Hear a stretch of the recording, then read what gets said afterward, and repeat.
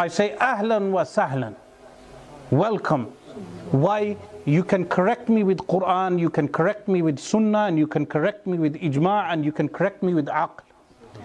Why? Because people like us are what? Not ma'asum. We have sins. We, we have weaknesses. So, in fact, I would encourage students to, to rectify me firstly in private. And if I do not change, then refute me in public. And if I do not change, then refute me in public. Alhamdulillah, that Allah subhanahu wa ta'ala has placed someone around you who can rectify you. Yes? Allah subhanahu wa ta'ala has placed someone around you who can rectify you. Yes? So this is the case with every common Muslim and even the claimants of being Sufi guides today, especially in the UK. And then what concerns me even more is the fact that you have even given a fatwa permitting boxing or rather even saying that boxing is a form of jihad so that you can beat up a kafir who is hostile towards Islam. This is jihad. So if somebody was to choose boxing as a career, right, they are allowed to do so in justification of what someone like Khabib does. Going back onto the um, questions about gaming, Sheikh, um, and entertainment, uh, someone's asked, what about boxing or MMA? Uh, they have benefit, but you strike another person. So like watching MMA um, and watching boxing um, and actually uh, playing these sports. So there's two things to this. Firstly, uh, the uh, Khabib, for instance, the MMA fighter, he beat up a kafir. I forget the name, McGregor. Now that man was a kafir, and he, he was a kafir in the sense that he insulted Islam. So Habib is permitted to beat him up. This would count as jihad. Muhammad Ali beat up men who did not respect Islam. Muhammad Ali was permitted to beat those men up. In those cases, the fighters, what they do is counted as jihad and it is permitted.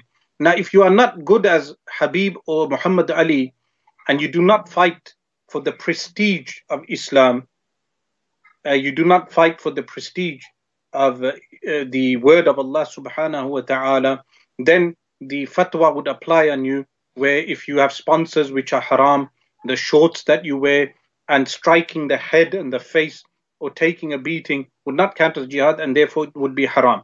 So anyone doing MMA or anyone doing boxing, if you are doing this for the prestige of Islam, then enter the field and become like Khabib and Muhammad Ali, then that would be permitted. And if you become like uh, Amir Khan or Usma, uh, Uzzy, then you are not permitted to enter that field. MashaAllah, Sheikh. Uh, interesting, uh, interesting thoughts.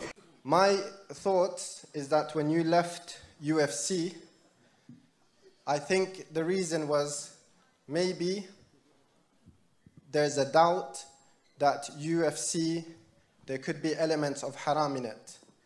If it's harming the face or children following uh, the same footsteps or any other doubtful matters, I know there's a big discussions on that. I'm not giving a ruling. But was that your reason that maybe there's some doubts that are not pleasing to Allah and you want to do something. Thank something you. else? Thank you very much. Okay. So were there any concerns about UFC being haram and is that why you left? Of course, but to smashing face people is not good things. 100%. How I can say this is halal, bro? This is uh, this is not my decision to make something halal or haram. I'm just normal human being, you know. Sometimes smash people. This is 100% this is not good things, brother. I mean, subhanallah, have we compromised our principles of Sharia so much that we cannot even define what jihad is? That we think that, you know, boxing and MMA and things like this are jihad? Subhanallah, brother, is this your knowledge of fiqh? What will become of the masses if you are promoting such things? Also of significance here is a quote from Islam Answers Atheism by Asrar Rashid. On page 332, he mentions here, striking on the face and head is explicitly forbidden with no exception to this in Islamic law. This is why sports in which people strike the head and face are also prohibited, and even on the battlefield in legitimate jihad, the believer must avoid the disfigurement of the face unless absolutely unavoidable. Now, the point to note here is that striking the head is uh, explicitly forbidden, striking the face. However, the point he has mentioned about there being no exception in the Islamic law, this is incorrect.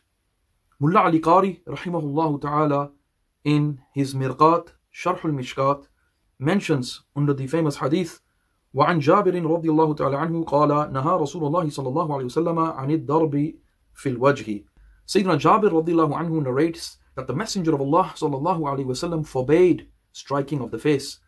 On this hadith sharif, Mullah Ali Qari comments أي في وجه كل شيء إلا الكافر حال القتال that it is impermissible to strike the face of anything but the kafir who is being fought during a valid jihad, this is permissible. This is an exception to the rule. So this point also has to be noted.